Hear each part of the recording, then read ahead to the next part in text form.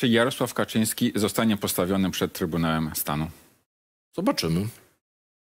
Ale kiedy? Z, z, zobaczymy, panie redaktorze, bo to wie pan doskonale, że e, ta wysokość, e, pułap postawienia przed Trybunałem Stanu e, posła, aktualnego posła, jest wyższa niż na przykład dla pre- prezesa NBP. Ale tak, Więc dla, będziemy dla budować. członka Jeżeli Rady pyta- jeżeli, to są 276 jeżeli głosów. pyta mnie pan, czy powinien, tak, wie pan, już panu, już panu mówię dlaczego. Dziś nie ma. Dziś nie ma, natomiast to jest dynamiczny proces. Wie pan, im bardziej Morawiecki buduje większość dla swojego くす quasi gabinetu, tym mniej osób jest w klubie PiSu, więc y, zobaczymy, jaka będzie dynamika tej kampanii. Zobaczymy też, jakie my będziemy mieli te, te zdolności perswazji. Mówię w dobrym tego słowa znaczeniu, aby budować tą większość. Ale- Natomiast jeżeli pyta mnie pan, y, ja pamiętam taką wypowiedź Jarosława Kaczyńskiego, który powiedział, że zmieniamy, raz powiedział zmieniamy, a raz wydaje mi się, że nawet była taka wypowiedź, że zmieniliśmy ustrój państwa. Zmiana ustroju państwa bez zmiany konstytucji jest zmianą nielegalną.